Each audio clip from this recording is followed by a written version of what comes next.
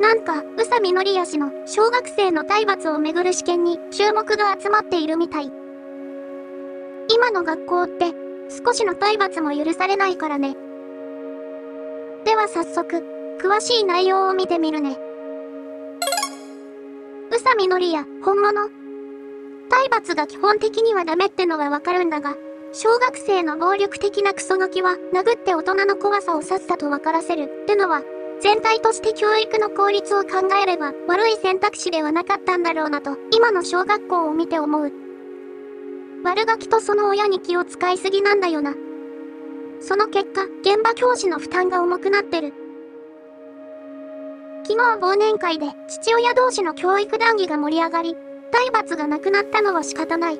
時代の流れ、ただ、その結果、クラスの秩序を乱すクソガキを強制的に抑え込めなくなってきて、公立教育が崩壊してきてる。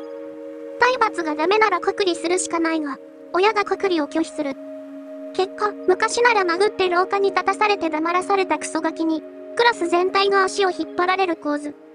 まだそれでも、小学校低学年は何とかなるかもしれないが、高学年はどうにもならない。地域によっては、もう崩壊してる、というとこで一致した。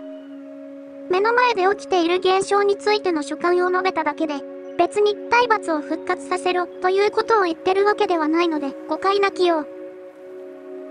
なぜ少子化でも塾に行く子が増えるのか、父親の立場になってみてよくわかった。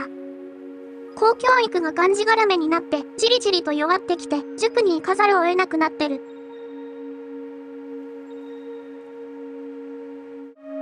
悪ガキとその親に気を使いすぎることにより、悪ガキが好き放題に暴れる。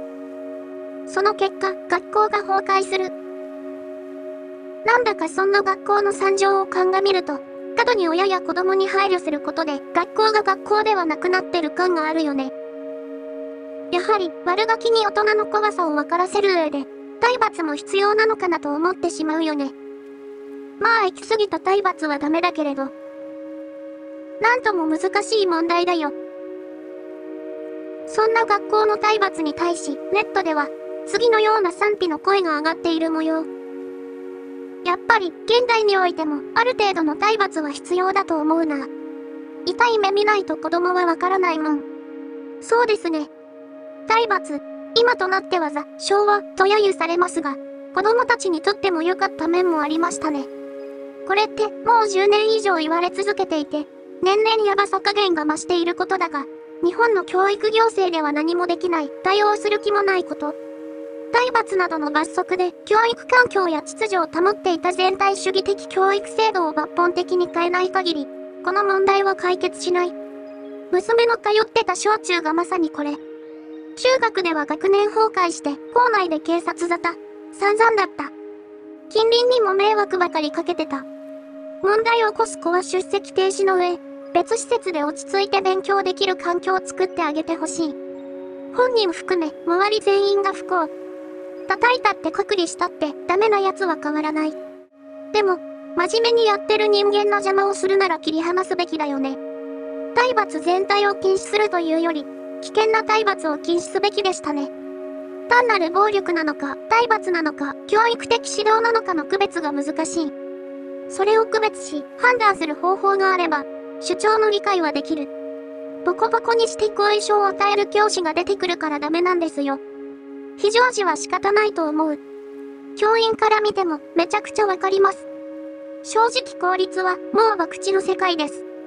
先生、生徒ともども当たりを引くか外れを引くかわからない。何かあっても先生がどうにかしてくれる時代ではない。親としては自然と私立の選択肢が生まれます。加害者を隔離や転校させるのは賛成です。被害者が泣き寝入りするのは違う。加害者の親にも賠償責任を持たせるべきだね。小学生であろうが、犯罪を犯したら逮捕され、裁判できっちり裁かれるべき。警察に通報して、暴力は犯罪だとする方が効くと思う。体罰があろうがなかろうが、そういう子供がいる地域は、もともと学級崩壊しているから、体罰がなくなって対応できなくなったもないと思う。教室全部に監視カメラつけて、問題が起きたらすぐに警察と連携すれば済む話。これいつも思うけど、学校に出席停止にできる権限を持たせる。あるいは警察が介入するって解決できるんだよな。ただそれだけのことなのに、なぜ暴力の是非の話になるのか意味不明。注意しても全く聞かない。授業を荒らして周囲に迷惑をかけるような子供は手に負えない。今の時代、怒鳴ってもアウトだからな。そこに関しては、心底先生に同情する。大体クソガキの親はクソ親なんだよな。残念ながら。ネットの反応を見てもわかる通り、一筋縄ではいかない問題なんだよね。でも、今のままでは、教員の負担があまりにも大きすぎる。やはり、何かしらの解決策は必要だと思う。まあ言えるパンダ個人としては、子供による教師への暴力や子供同士のいじめが起きた際、すぐさま警察に通報し、警察が介入する。それでいいと思うかな。まあそれでも解決できる問題ではないと思うけれど。ほんと難しい問題だよね。